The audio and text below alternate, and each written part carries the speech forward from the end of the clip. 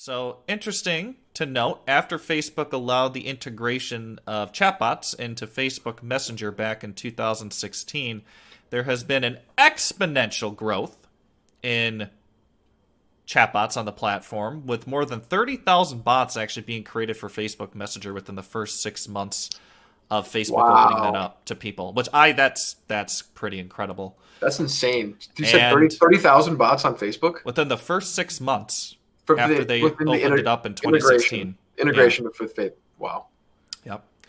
And of course, chatbots led to the rise of drag and drop bot builders because consider you know, before drag and drop builders like ManyChat, you actually had to go in and code a bot and yeah, you know, program it to to run scripts over the internet.